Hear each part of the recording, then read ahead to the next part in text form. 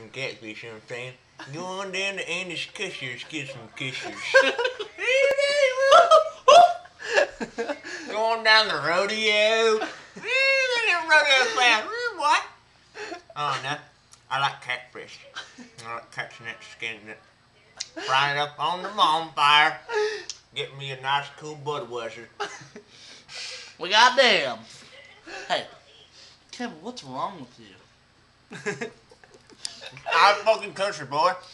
I have to hunt. I have to fucking hunt for deer and squirrels and rabbits. Do you talk a lot every night with her? Yeah.